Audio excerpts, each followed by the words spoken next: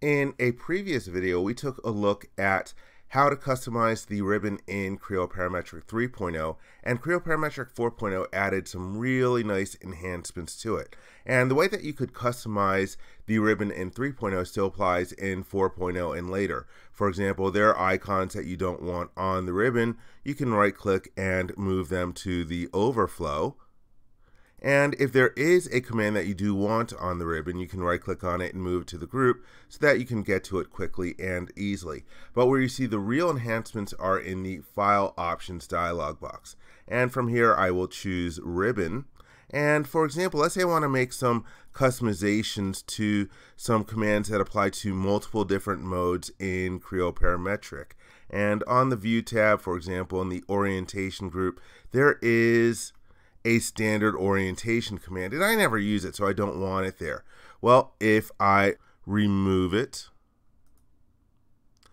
then you'll notice that it's no longer on here. And if I right click on the orientation group, there's an option that's automatically checked called propagate customization. And so that means that it will automatically affect any other modes of Creo Parametric that this can apply to. So for example, if I go over to this part model over here on the view tab, that command is no longer in here. Similarly, if I go to a sheet metal uh, part, uh, it is not in here as well. But let's go ahead and take another look at the file options ribbon dialog box. Another big change is the addition of what they call the common tab, which is a tab that you can add to all modes of Creo Parametric. And there are a few different commands that I like to have available. And instead of having to navigate through the different categories, you have a nice little filter that allows you to get to it. So I'm going to add this command to my common group.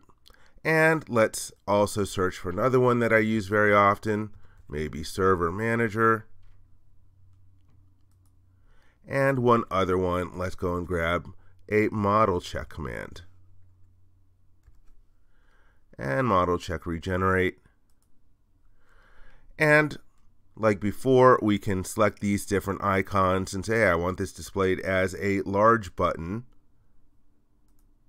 And same with the other ones. You can control how it is being viewed on there. And so Another thing is that you can change the name of this. So for example, instead of common, I like to call it commands.